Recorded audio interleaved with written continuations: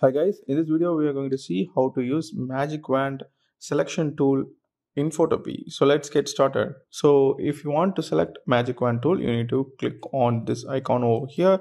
The shortcut key for this is W or you can search over here Magic Wand and you can see tools Magic Wand. Click on that to select that tool and on the top you have these tools option. And let's see how this tool works. So this magic wand tool will select by colors. So i drop this uh, rubik cubes image. So you can see here there are different colors. And if i click on any one of the color from here it will select that color. So for example i'm going to click on red color. And you can see these two red colors are selected. Since these three and the top one have different red tones. For example this three red have darker tones and this one has lighter tones. It is not selecting those areas. If you also want to select those areas you need to increase the tolerance. For example i'm going to increase it to something like 50 let's click on the same area and you can see it is selecting both the uh, lighter tone and darker tone and area which I clicked. Increasing the tolerance will increasing the uh, color selections. For example, I'm going to increase it to something like 200 and I'm going to click on same area and you can see the yellow areas also got selected. So you get my point. Increasing the tolerance will increasing its uh, uh, selection of colors. So this is the tolerance. I'm gonna make it to 10 and now you can see it is selecting these two. And if you want to select only this box not this one you need to select contiguous.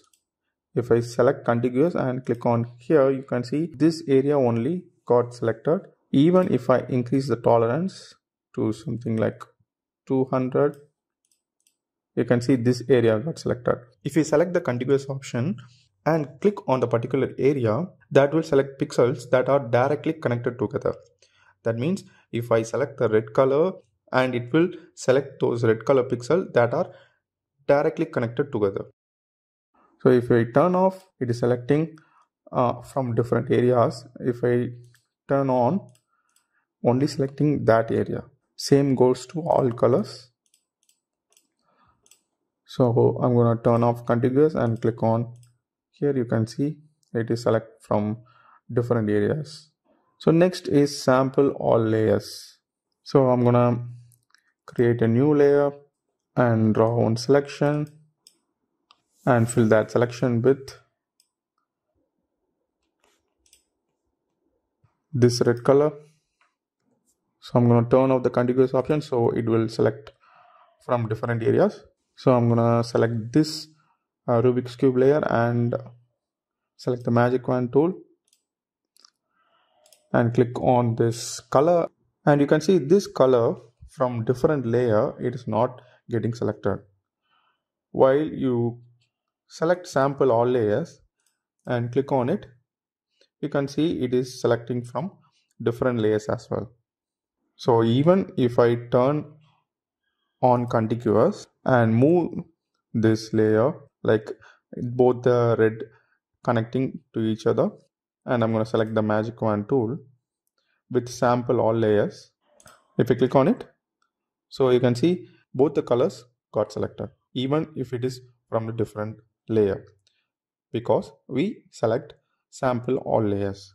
If I turn off and click on it you can see only the Rubik's cubes red color got selected and you can see the two different tools option. You have selection modes feather refine edge select subject etc so these are the options are already available in uh, different selections like rectangular selection ellipse selection etc so that's it. This is how we can use magic wand tool to select in photopea so thanks for watching if you like this video give thumbs up subscribe this channel for more future tutorials also press the bell icon so that you can get instant notification when I upload a video. Thanks for watching and bye.